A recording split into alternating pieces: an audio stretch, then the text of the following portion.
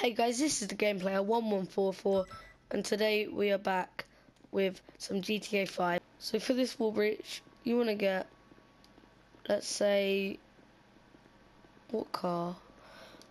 Get your biggest car, has to be taller than, I don't know, like a Land Rover or whatever, whatever it's called in this game.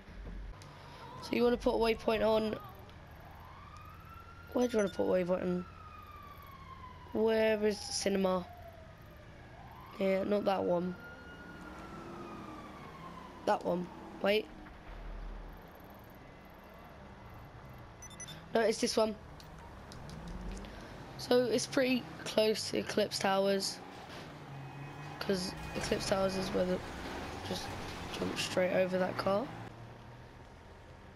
What you want to do is park it straight up to that black thing. It's right next to a Ponboys. Let me just show you it on minimap. It's right here. It's on this strip. There. And you want to jump on your car and walk over and you want to jump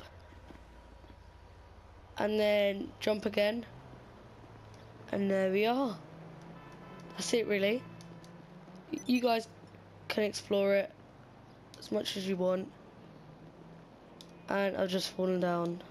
Whoops. There's nothing else really to say, guys. You can explore it for yourself. You can check it out. You can explore it. You can do whatever.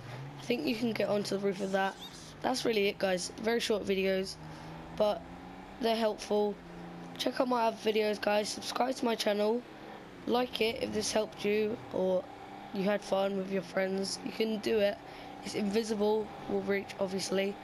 And um, yeah, that's it really guys. So like the video, subscribe to my channel for daily uploads, GTA, Minecraft, anything. And I will see you guys in my next video. Bye.